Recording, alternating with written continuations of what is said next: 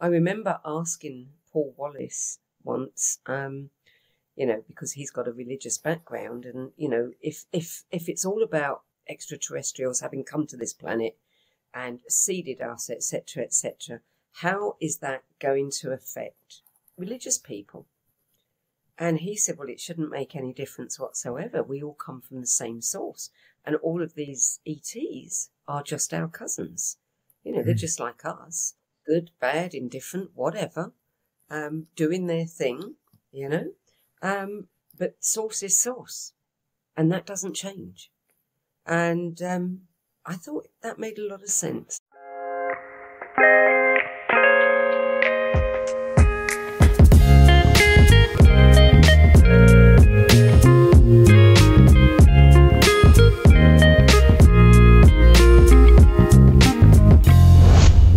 Broader Lens podcast. The opinions expressed on Broader Lens podcast are those of the guest speakers and do not necessarily reflect the views of the host or Broader Lens podcast.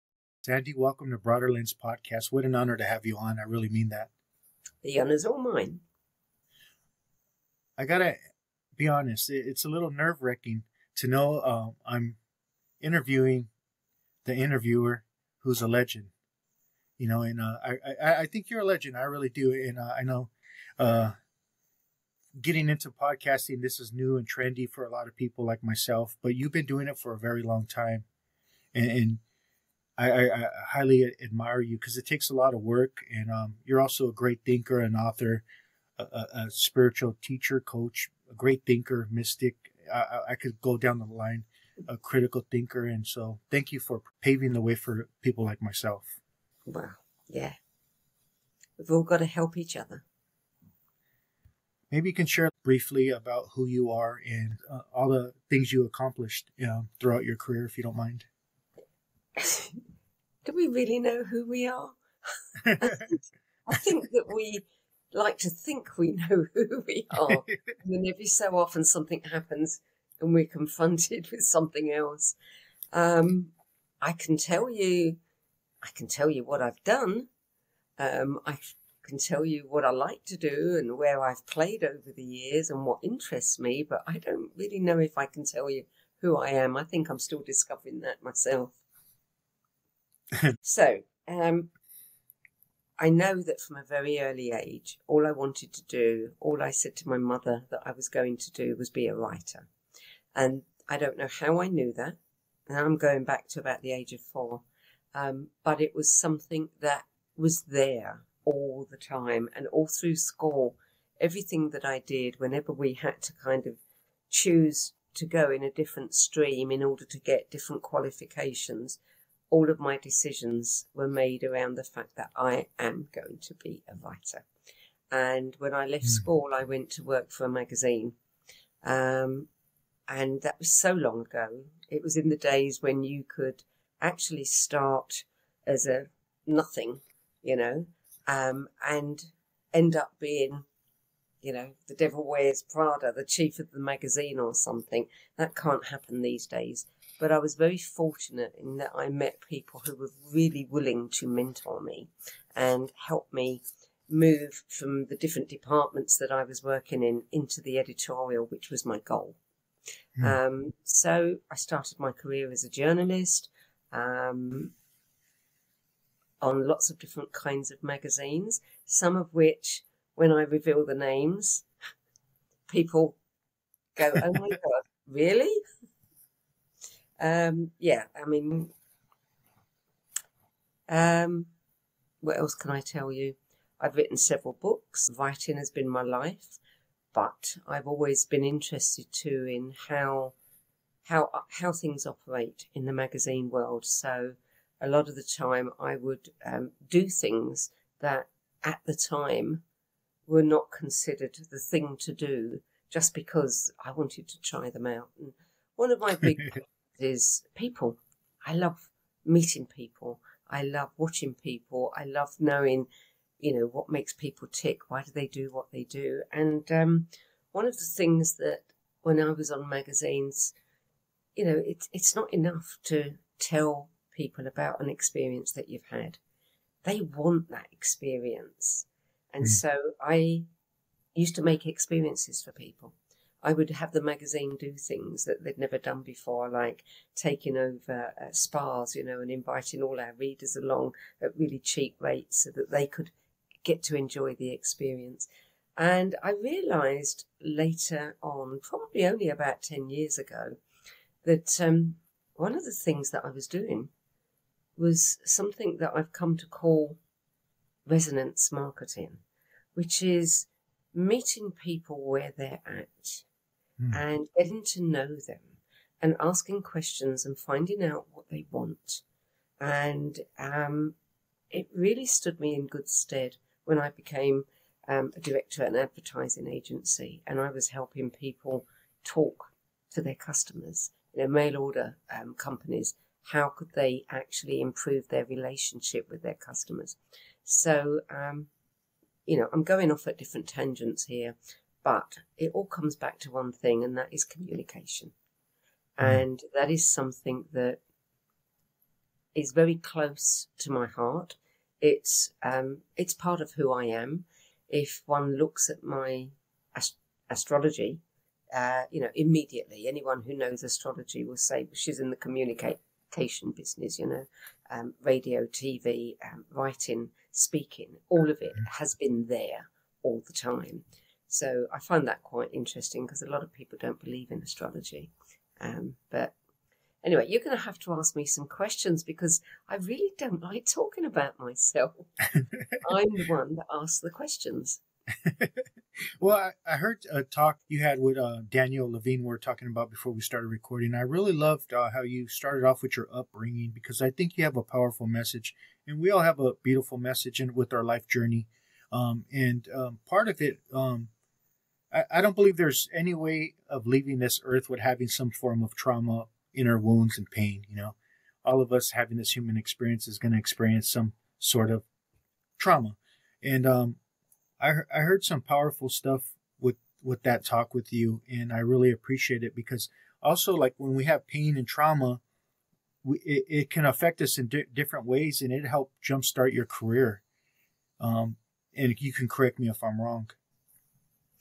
Well, are you talking about um, where I was brought up? Yes. Yes, yeah. Um, and you know what? I don't see any of that as trauma or pain. Um, my father died before I was born, and I was the youngest of five children, and um, there was no social security in uh, Britain at the time. So it was very hard for people to survive. And um, I and three of my siblings were put into a children's home for a number of years. Um, and although we had contact with my mother, um, we were brought up in a rather kind of antiquated Victorian style, you know, children's home, orphanage, if you want to call it that. And um, I was very lucky because I was very young. And because I was one of the youngest children there, people kind of petted me. So, I mean, it could Hmm. be very tough in a place like that. And I know that my siblings um, suffered to some extent. I mean, nothing really, really awful, but, you know, it was hard on them and they were not treated as easily as I was treated. Um, but the, you know, looking back on that time, what I see is a great opportunity. Um, you know, I'm a people watcher. I used to sit in trees and under tables and I would watch people. And um, I learned to be amongst you know, lots and lots of children from all different, um, you know, uh, classes, creeds, religions, you name it. And um, in a place where I actually had no real role models. You know, the staff that looked after us, they, you know, they were okay. They weren't particularly mean or anything. We were just, you know, they didn't really take an awful lot of notice. Um, so in a way, I was kind of put in a position where I learned to bring up myself. Hmm. And so I would watch other people, I would learn from other people, and I would take on whatever, you know, um, attitudes and thoughts and beliefs about the world from I don't know where. Um, I think that in retrospect, I actually knew things that I wasn't consciously aware of, like that I was here, you know, this was part of my training ground, if you like, um, that um, I was, you know, this was going to stand me in good stead for whatever I was going to do later in life. And um, so I, I, I know my brothers and sisters all had different recollections of that place and that time. And it was traumatizing for one of my sisters. And it galvanized one of my brothers. You know, he understood very early on that if you want to get on in life, you've got to get an education. And so he threw himself into learning and, um, and did incredibly well in his life. For me, it was, it was a whole other experience. Um, just an experience in empathy and understanding and, um, seeing through seeing through the masks that people put on, mm. you know, to get by in life. So um, yeah, I don't see it as a, a bad thing. I think of it as a good training for me. You, you eventually came up with the um, show "What Is Going On." How I didn't come happen? up with that actually. I okay. didn't come up with that. That um, OM magazine and the OM Times Media Network wanted to create a show called What Is Going On, and they asked me mm-hmm. if I would host it. Um, so I, you know, it's their flagship show, and um, I didn't come up with that, but I did come up with the No BS Spiritual Book Club. Well, my second question is, what is going on with the world? Um, do, you, do you believe uh, we're gonna have we're having some kind of collective awakening? Yes. Are we suffering? We're having we're in stage four cancer, as some people may say, or are we just in the mud to become a lotus flower? I think that we are definitely having um, an amazing transformation. I think that we probably have tried many times in our history to get beyond this point, and we haven't done it.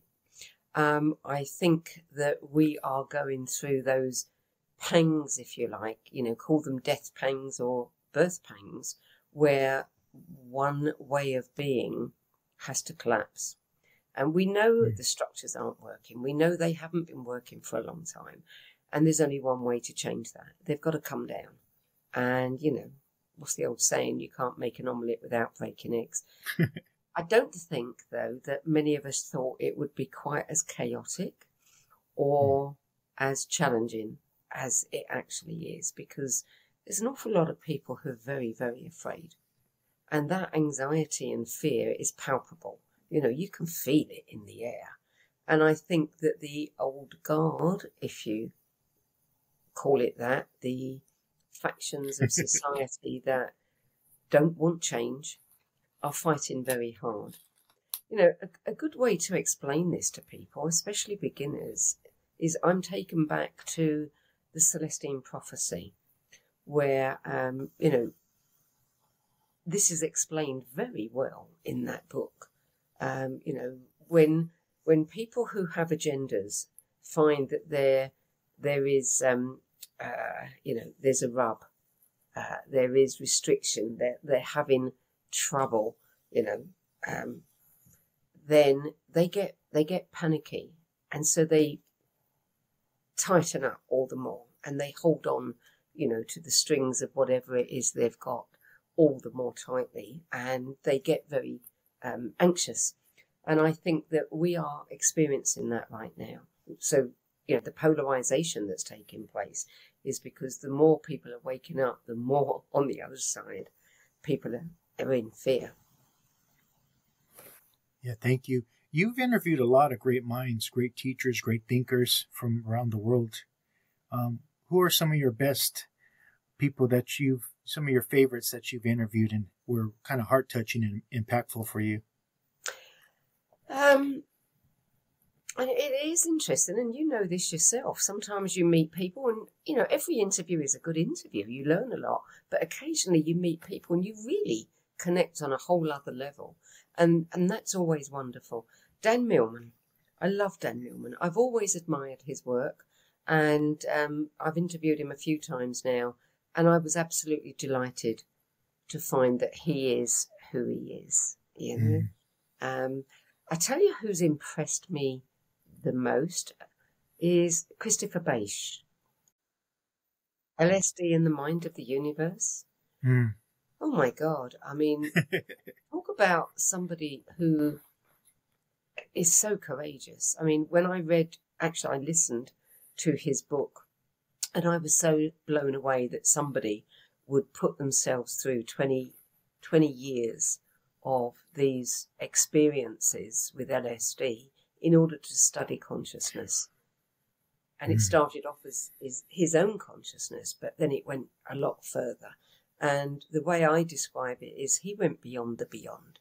He went beyond any place that I've ever heard anybody talk about. And um, he came back with so much humility. Mm. So much humility that, you know, I mean, the man is a, an absolute joy to talk to. There is no trace of ego there. And he really took on the experiences he had and he's sharing them with the world. And um, the way he would describe it is that, you know, we are having this wonderful opportunity to let go, let go of everything that isn't working. And uh, as I said, you know, when, when people are made to let go who don't want to let go, they're going to kick up a big fuss.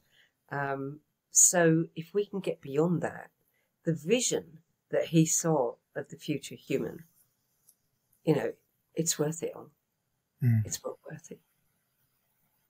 Similar to someone that had a near death experience, they come back with more compassion, more understanding, more connected, kind of more in tune with the oneness of life versus beforehand. Yeah. yeah. I love yeah. that. What was the name of his book again? LSD and the Mind of the Universe, Christopher Bache. Yes, uh, I, I, don't. I do have his book. I haven't read it yet, but um, I'm, i plan on reading it. Just I've been have so many books. Tell me about it. yeah, yeah, I'm excited to read it. um, do you, you know, in the spiritual arena, do you believe like there's an ego trap with some of these gurus and teachers in our field, uh, you know, in, in, the spiritual arena? Um, yeah, I, I've watched that, and um, and it is sad because I believe that most people you know, they go into this arena because they've discovered something and they're so enthusiastic and excited they want to share it. Um, and they do share it. And then they build a following and then they have to build a machine in order to keep up with that. And then what happens with some people is, you know, the the following, the audience, the people that they have to employ to do things um, separates them you know, they get further and further away from the person that they're talking to. And that distance, you know, creates, um, it creates a situation where you begin to lose, you know, the, the reasons that you were doing this in the first place. And what you're doing becomes like a well oiled machine. You've hmm. got to keep it going. And, you know, in the end, sometimes the tail wags the dog. And we see this with some people who have become so separated from what they started out and the people that they want to communicate with that it becomes unreal and they lose they lose that ability to connect and um, yeah they become detached and then it becomes about just keeping the machine going or it becomes about ego or it becomes about money or something. And it's always sad when you see that, but you know, it is a danger. We've all of us, all of us, no matter what we're doing, we've got to, you know, keep on checking ourselves all the time because it is so easy to get carried away, you know, and be influenced. Yeah, I appreciate that. I think it's dangerous for anybody, and I gotta constantly be aware of myself, but I can only imagine when some of these famous people in the spiritual arena that become gurus or spiritual teachers and the, the way showers and the knowers and, uh, um, rock stars, basically, rock stars, celebrities in, in this arena. Uh, I've seen the change in attitude following them for so many years. Yeah. And then once they become super famous, then The Yeah. other thing that happens to them, you know, is the bigger the audience they get, the more energy is actually being driven towards them. You know, people have their thoughts, their ideas, they put them on a pedestal. Um, they think that they're the guru that's got all the answers. You know, imagine having thousands of people with their energy thinking about you and on a very subtle level. That must be very hard to bear. came up eventually with the No Bullshit Spiritual Book Club. I love that name. How'd you come up with the name for, for first of all? Um, well, actually, the title, I was a little bit nervous about calling it something like that. And I thought, oh no, that's not very spiritual. Um, but it was Lee Harris who said to me, we were having a chat one day and he said, well, what are you going to call it? And I said, well, I'd like to call it. And he said, then do it. So I did the No BS Spiritual Book Club. And, and honestly, that really does, um, you know, that's what it's all about because there is a lot of bullshit out there. There really is. And the, you know, the mind, body, spirit arena is now worth trillions, trillions. And there is so much fluff or um, worse coming out. Um, and there's, you know, there's companies that want to make a lot of money out of that and spend a lot of money promoting it. And my Mm. concern, I was getting pitched um, by books that, you know, I've done these kinds of interviews so many times, and how many books can you read on this and this? And if there isn't any substance there, you know, what is the value of that book to, to somebody waking up? And it really began to wear on me. And I thought, no, somebody's got to do something to, you know, to, to provide people with some kind of guidepost. Don't look at that because there's nothing in it. Read that one. And um, as I was thinking this, and it was in the middle of a rant, I was having a little rant with myself, you know, and um, the, you know, there was this download, and I saw the whole thing fully formed, and I thought, wow, that's genius, you know, but I'm not going to do it because it's too much work. I don't want to be doing all that work. And I looked at it for a year. I kept pushing it away, but it wouldn't go away. And at the end of a year, I spoke to a couple of people and they said, you know, you're always being asked to recommend books. You're the perfect person. Hmm. So in the end, I thought, well, I'll play with it. You know, I'll put up a website, I'll play with it and see what happens. And I've been playing with it for four years now.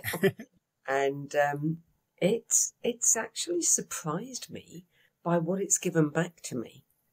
Um, you know, number one, the best interviews I've ever done. The best. Not because of me, because I say the least of any interview that I ever done, have ever done. Um, it's because the, because of the guests. They're not pitching anything. You know, they're coming to talk about something, you know, their life, their inspirations. And so there's this whole other energy that they're giving off. And they're very unplugged and they're very um, authentic and they're very vulnerable. And just listening to some of those stories is is astonishing because, you know, when we hear, oh, I, you know, I was doing this and I came across this book and it changed everything for me, and you really understand not the CV, not the official story, but you know, this is a person just like you who was struggling to mm. find their way. So we meet these people on a completely different level. And I love that. And they love it because they get to have what, you know, is in effect a life review without leaving their body. Um, and uh, every person who said, Oh, I don't know if I want to do that, it sounds like hard work, has said to me, I'm so glad I did that because I was reminded of where I've come from. I was reminded of who I was and how much I've grown. And um, so it's it's a gift that keeps on giving to them and to me. Yeah, I love that. When we were talking about picking the 10 books that inspired me, I started flowing. And it's like, it doesn't even come from here. It's coming from here because it's just like this inner flowing of experience and knowledge that I've gained through certain books and, and just learning how to apply this stuff in my life and just the process of change and growth, and it, it's just a beautiful process. So, yeah, I, I, was I was thinking that the other day, and it was just like, wow, it's all coming from here. It's not coming from here. Exactly, exactly. And the other thing is that there are some people who are closer to leaving the planet than others, and to be able to capture their wisdom mm. through the lens of the books that inspired them is wow. You know, what a privilege to be able to do that. Speaking of that, um, what are a few of your favorite books that helped inspire your soul journey?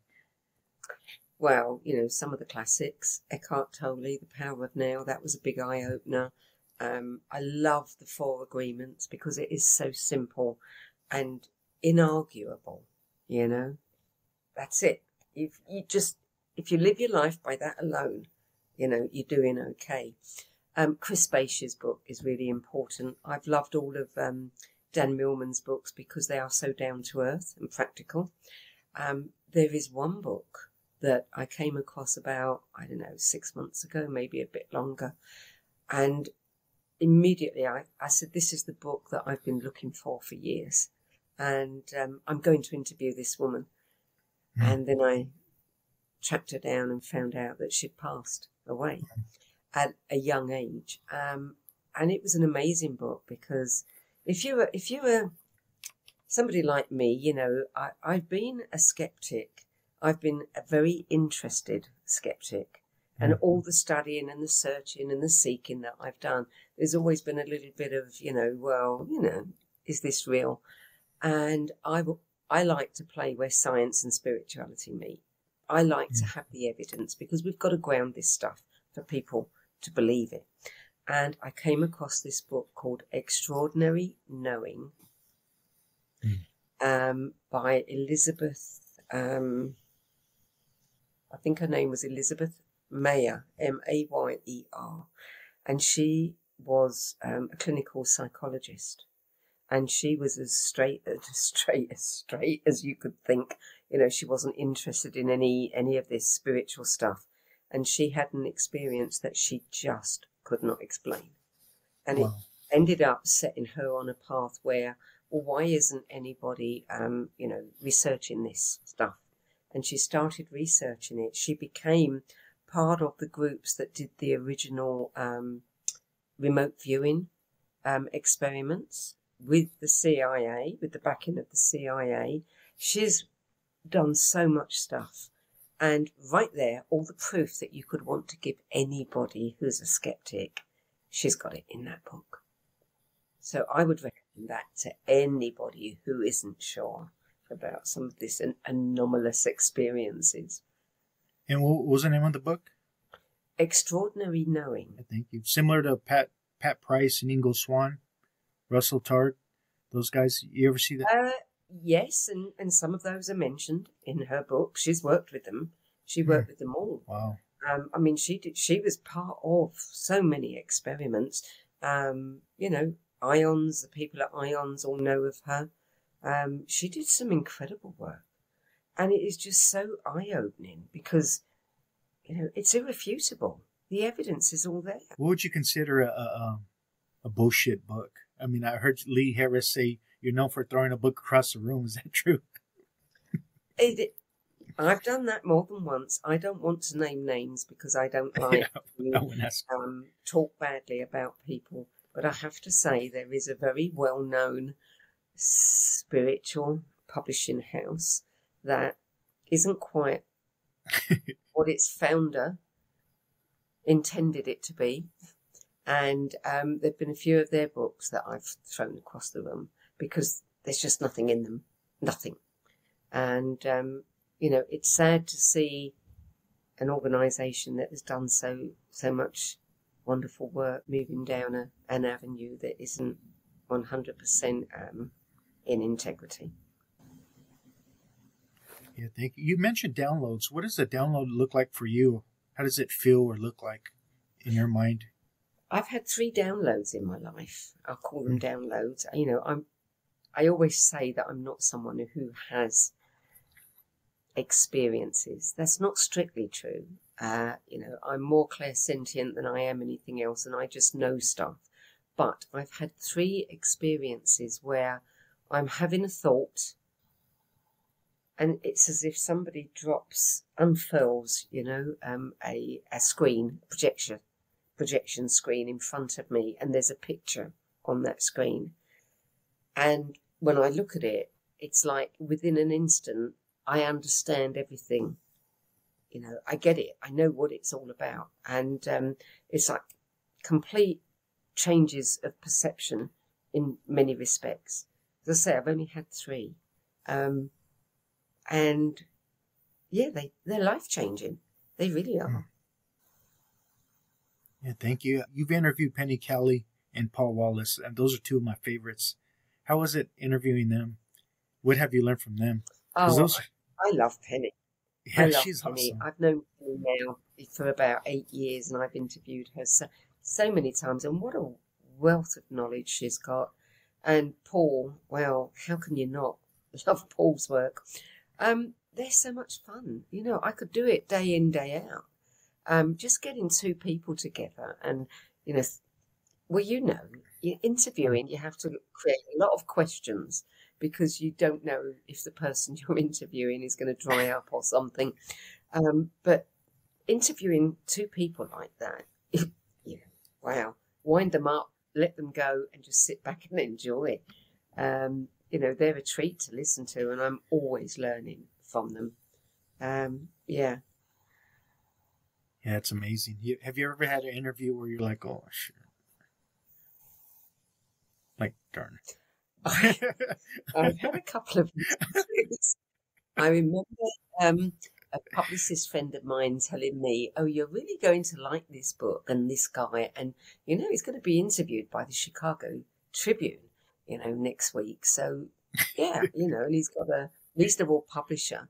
And um, I never read a book until the week of the interview because otherwise I'll forget it.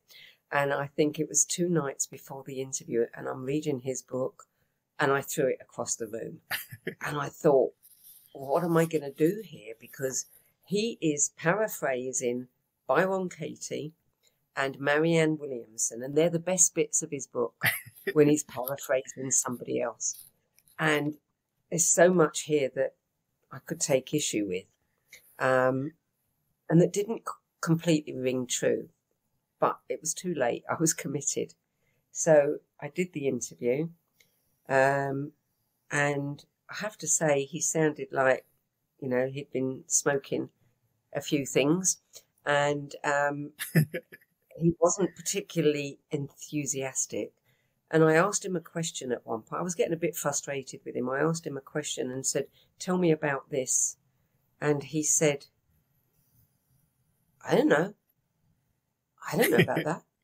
And I said, Well, it's on page 158. You know, there it is. Tell me about it. And he couldn't talk about it.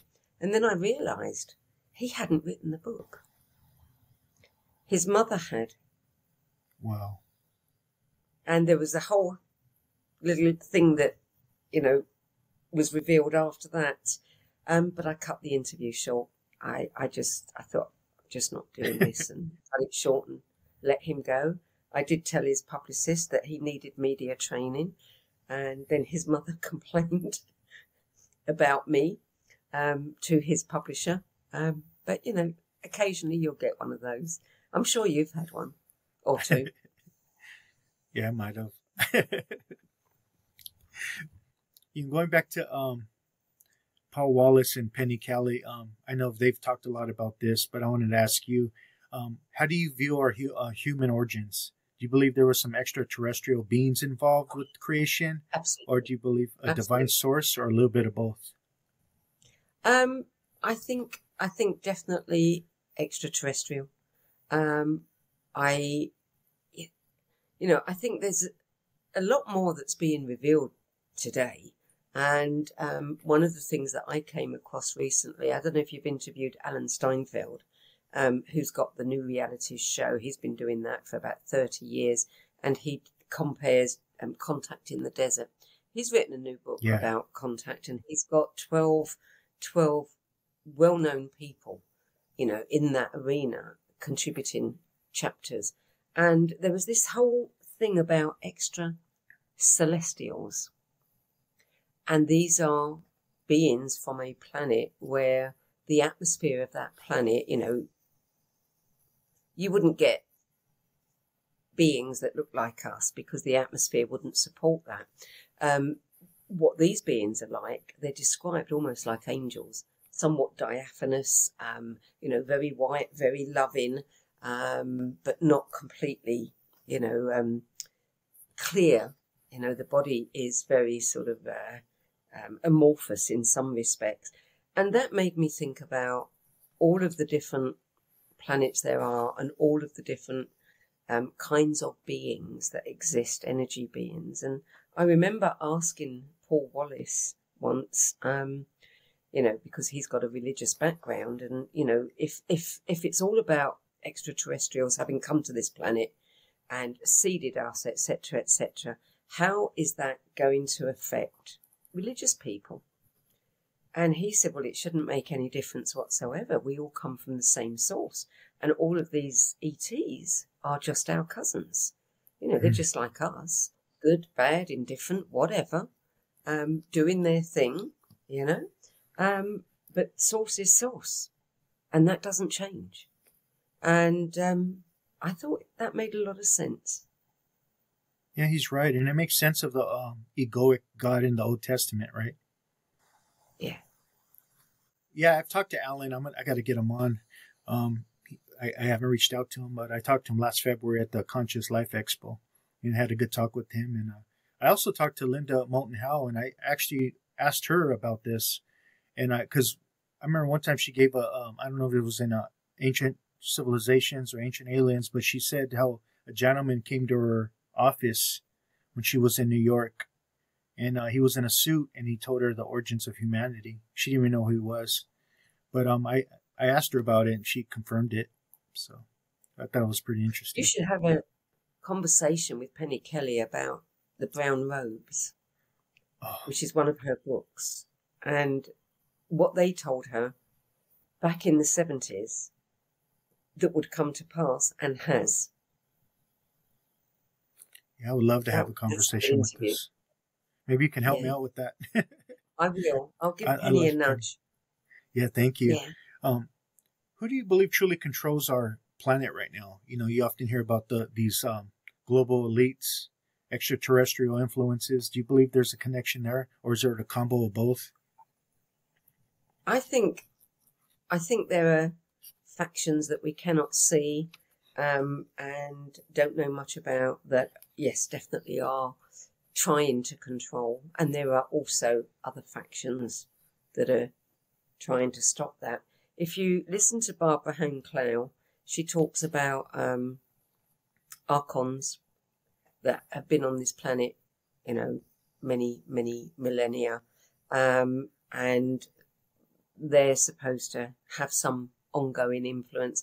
If you speak to somebody like um, Judy Carroll, who lives in Australia and has written several books, one of which is called Human by Day, Zeta by Night. Mm. And she talks about the Saurians and she says the saurians are the um, descendants of the dinosaurs. Hmm. And they are highly intelligent and they have been on this planet long before, um, you know, humans were. And um, they consider it their planet and they are controlling everything. I don't know who's controlling anything. I, I'm sure there are beings that are controlling, and I'm sure there are other beings that are equally trying. You know, you've got the polarity. It's a planet of duality, isn't it? You know, we've got to have both. Yeah, you're right. Um, so, did she describe what they look like? Were they like lizards? No, she didn't. Reptilians? She didn't say what they looked like. No, she didn't. But she, she herself had memory of um, being a Zetan and um, being, you know, in another life, being um, a commander of a ship. And that was supposed supposedly uh, in the 40s, um, wow. human time. And they were trying to warn us because of, um, you know, the whole Oppenheimer thing. and the bomb, and um, and they they were blasted out of the universe by whatever factions were here at the time, the Saurians. Um, she's an interesting one for you to interview. Yeah, I have to look her up. I'll put I- I don't in think touch with. I'm not even familiar with her work, to be honest. So that's interesting. Yeah, her books are very interesting. I, I know I had. You said she was in Australia. She's in Australia, yeah. I know I had Mary Rodwell on recently. She was very interesting. She's awesome. That's right. And I'm interviewing her soon. Oh yeah, she's awesome. I'm That's pushing her and Su- Susie Miller. Do you know Susie Miller? I've heard of Susie Miller, but I don't.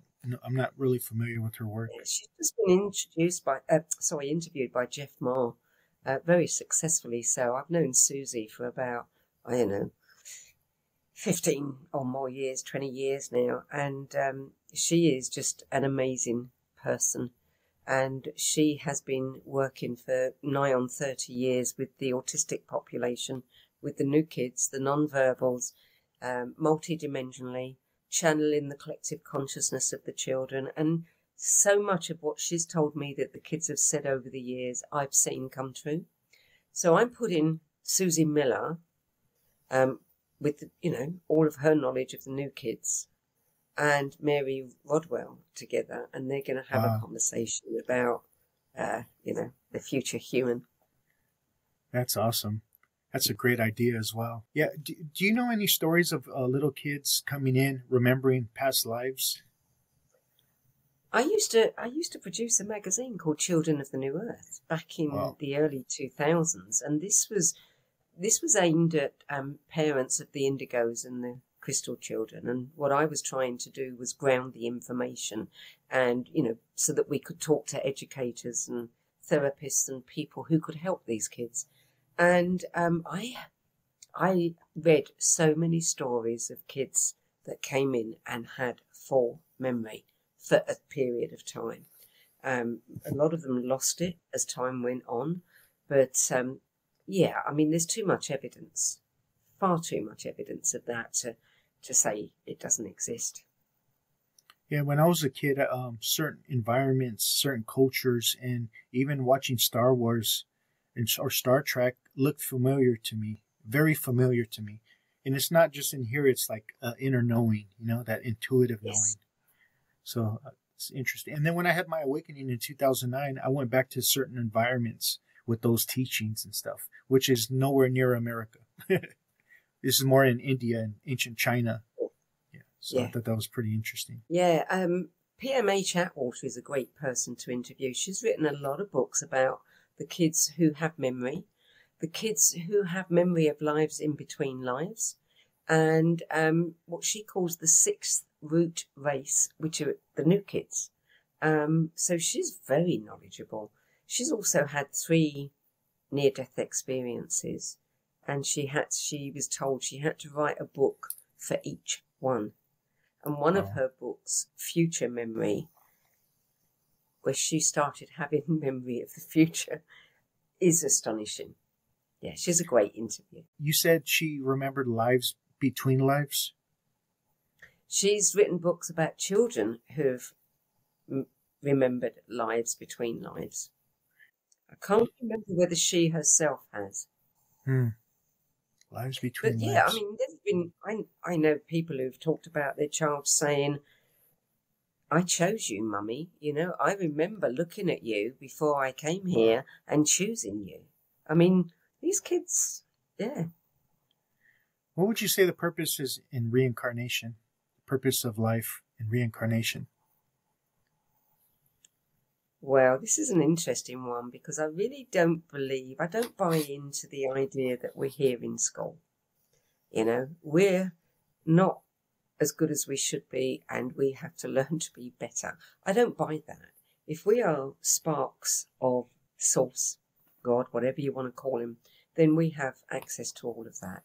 I do think that we are here to shine our light.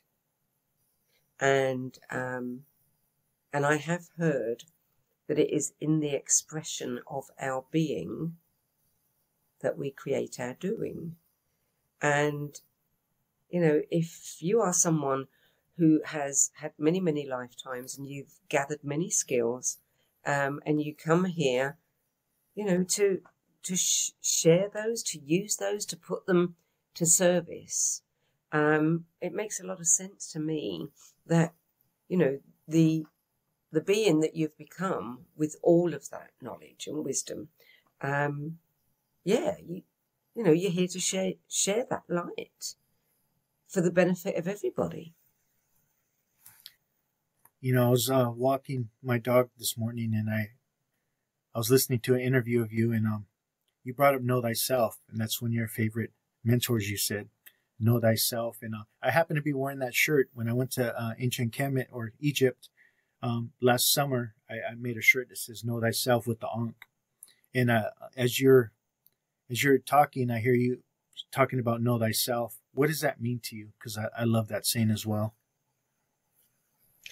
I think one of the things that we're here for is to remember, is to remember, to stop forgetting in each mm. incarnation. Um, and I think that's when we're going to be the most useful too. But for me, I've always had this drive to know, to know more. And, um, you know, I used to put it down to the fact that I'm a Gemini and we're very heady, mental, you know, we want to know everything. And I used to be really frustrated, physically upset at the thought of dying and not knowing it all, whatever it all was. Um, so I, I was interested in astrology, I was interested in palmistry, I was interested in human design, all of these you know, different modalities that give you information about who you are. And um, so from a very early age, I was looking, studying all of those things because I want to know who I am. Who am I? Um, I don't know because there's there's so many different layers, and um, most of us are brought up to see ourselves through the eyes of the people around us. Uh, that wasn't good enough for me. I really wanted to know who am I and what do I have to offer? And so all of those things for me are, are like the, um, um, you know, uh, what's uh, there's a game I can't remember the game, but you have this little thing, and each time you have to put a little triangle into part of this circle. And to me, all of those things are part of that, and you begin to learn putting all those little chips together in one, you begin to learn the totality of who you are. And, um, you know, human design has given me certain things, astrology has given me other things. Gene keys, I think, is amazing because mm. it also helps you learn, you know, what are you actually dealing with here? And, you know, how the different levels, how you can move through that. And I think that is our job, is to know ourselves because when we know ourselves, then a lot of the you know the insecurities, um, the things that are piled onto us, the conditioning, etc., goes. You know, we know who we are, and we can't be influenced by that, and then we become effective. You know, and you can't fight yourself when you know who you are. I mean, mm. you know, I think I know what I'm here to do. And I'm very happy to know that. It's not what I thought I was here to do for the first, you know, 25, 30 years of my life, but I'm very happy, you know, in knowing that. And yeah, that's my job. Okay, get on with it, do it, and do it to the best of your ability. Yeah, thank you. I always say the greatest minority in today's world has nothing to do with skin color, but it's authenticity. And the process of knowing who I am begins with knowing who I'm not. And when I had my awakening, I started to realize, like, wait, this is what someone told me to believe. Wait, this is what my culture collectively are, is thinking. Oh, this is my environment influenced me. Do I really believe that? Is that really me? Or this is how I put up this persona to hide behind because deep down inside I feel scared. You know, when I started to see all these different ways and et cetera, et cetera, I, I, always say the beginning of enlightenment is when the unconscious becomes conscious and I start to become more conscious, more aware of how these things are not really me and how they affect me and cause me cause my suffering and disconnection with self and conscious separation between me and you, yeah. and it's changed my life. All pain comes yeah. from you know not knowing who we are, thinking that we're not good enough. We don't measure up to whoever's standards. You know, once you you know this is me, you know, and rightly or wrongly, you know, good or bad, this is me. How would you define the ego? I know we talked about a little earlier. Um, I, th- I don't think the ego is a bad thing. I think we need a certain amount of ego, you know, in order to do things and push ourselves forward, etc. I think it's, you know, ego gets a, a bad rap, but I think that there are levels, you know, of how much we are into certain aspects of whatever um, that can be less than advantageous, you know, to us and to others. I think that, um, you know, there's an awful lot being said these days, um, you know, about selfishness, selfish versus self first, um, you know, um, narcissism, um, and I think that we're in a culture where people are encouraged, they are encouraged um, in the direction of, you know, pay attention to yourself because you're not good enough. You know, I've hmm. only got to look at, well, I don't look at it, but I've got grandchildren, granddaughters, and I see how influenced they are by, you know, the Kardashians or people on Instagram who are not, who don't know themselves you know, the false eyelashes, the you know, the blown up lips, that everybody's hiding behind a mask. And it everything seems to be pushing these kids away from knowing themselves and, you know, telling them they should be something else. And I think that that's where it all becomes damaging. And I think their egos suffer greatly. And, you know, they're being taught to be egotistical. You know, I just is, got. Oh, go ahead. I'm sorry. I was going to say, which is, you know, not healthy. But carry on. You know, I said, you know, I just got butt implants, right? You got butt. No, I was playing. I was messing around. no, I agree with you because, like Eckhart Tolle, I love Eckhart Tolle, but I think it becomes a little too. The ego's too dangerous in his point of view. Along with A Course in Miracles, the evil's like the bad, super bad. But I think yes, you can have an unhealthy ego, and when you're unconscious of the ego, I would say the ego is not your amigo when you're unconscious of it, but you can create a healthy ego. It's a sense of self. I mean, if I'm going to fall off a cliff, my ego's going to tell me I'm going to die. You know, at least this experience, right?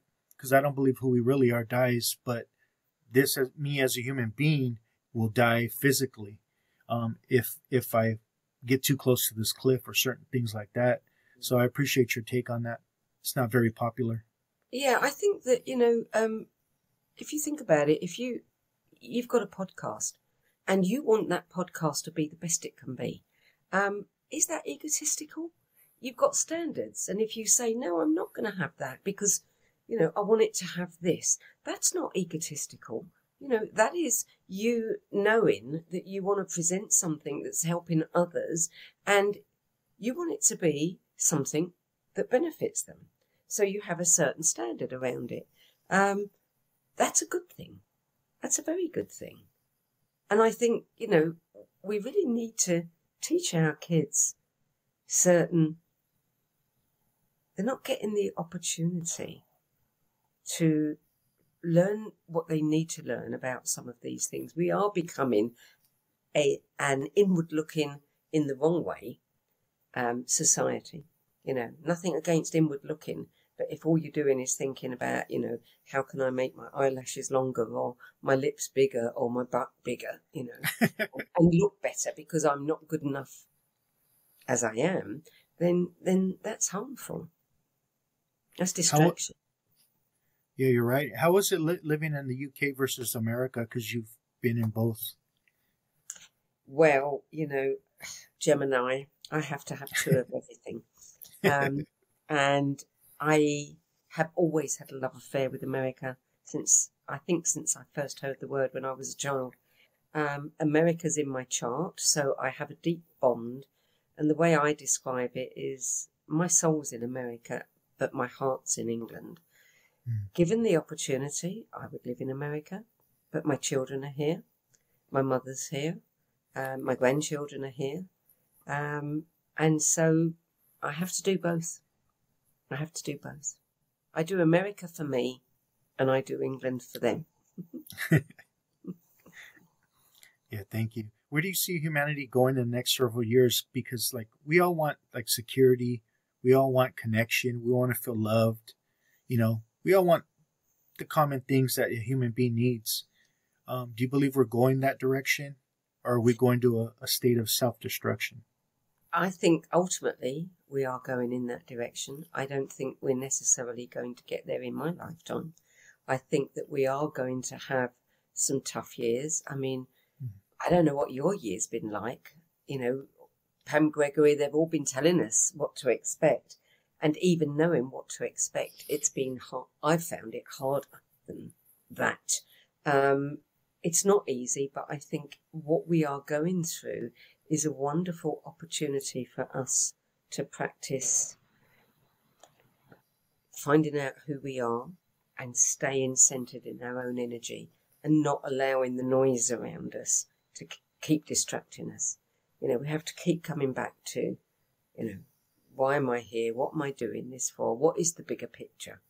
And ultimately, I think the bigger picture is healthy, and um, and it's an attractive picture, and we will get there. But I don't think that I will see it in my lifetime. Yeah, thank you. I'm going to ask you a couple quick questions. Spirituality versus religion. Do you see a difference? Yes, absolutely. Spirituality. Um, and uh, religion for me can, you know, there's some, can be some wonderful things to certain religions. Um, but I think the dogma, um, you know, um, so for me, it has to be open, wide open. And it is a verb. It is, you know, how you live your life, what you do, not what you think or believe. And how would you define spirituality? How would I define spirituality? I think it's having an awareness of something bigger than the self, than the small self, um, having an awareness of um, values and consciousness and kindness and the way we interact with one another. Um, a lot of people profess to be spiritual, but they don't behave spiritually, you know. Mm. Um, it's really in the way you live your life. And you don't have to, you know, like the spiritual arena or be a devotee of that in order to live your life in a spiritual manner. Yeah, thank you. I always say, um, you know, at one part of my life, I suffered from alcoholism. Today, once in a great while, I suffer from assholism, but I have tools to use to help get rid of that assholism. And I learned how to make my wrongs right, you know, and try to stay connected with humanity and, and self versus mm. getting disconnected. So, yeah. And and we're living a human experience, you know. We we need to have a bit of compassion for ourselves. You know, we are stuck in this body and in this place and with all of this conditioning around us. And I think that we should allow ourselves, you know, not beat ourselves up if we cannot hold ourselves 100% to being spiritual, whatever that means for us. You mean we're not just sinners? No. I'm just playing around. How would you define? Um, sin. I know, right? Yeah. Self-inflicted nonsense. Yeah. How would you define what we call some people call God or source of life? I my views kind of change. The more that's being discovered quantum physics about the cosmos my views change. Um, i really like what um, jude currivan says that consciousness is not what we have it's what we are now consciousness to me is the same thing as source and if that is what we are, then, you know, it's everything and everywhere. And we can't say, you know, sources over there and it looks like this. Um, it is, you know, it's probably too big to even articulate. Um, but yeah, consciousness is what we are. We are part of everything, and and that is source. So we are source too. I love that. Thank you. I appreciate you coming on. Um, would you like to share any of your links or, or website? Um, I'd love for people to go visit um, sedgbeer.com where they can also find um, the No BS Spiritual Book Club and uh, sign up for it. It's completely free. We just send you uh, emails about you know the latest um, 10 best lists that have been added to the archives and the interviews that are coming up. Our mission is to support people, so support people in their spiritual growth. And um, there are no gimmicks, there are no fees, there's nothing else there other than, um, you know, a great vast library of recommendations given by people that we all admire. Yeah, thank you. I'm going to end it with Thoth the Atlantean from the Emerald Tablets, and I think this quote fits perfect for you. And he said, Read and be wise, but only if the light of your own consciousness awakens the deep seated understanding which is the inherent quality of the soul. And uh, that's beautiful. Yeah, thank you. Thank you. And uh, thank you for coming on. I really appreciate it. Thank you so much, Boo Boo. I've really enjoyed speaking with you. And I can't wait to have you on my show. it would be an honor. Namaste. Turn the on you. yeah. Just know we out here. Know we out here working in a major way. Had to speak on it just to make a play. Any given subject, know we make a way. Time to level up on a day to day. Know we out here working for the greater good. Mind, broaden your lens the way you should. From the stars to the galaxy to speak on spirituality. Higher understanding for the neighborhood.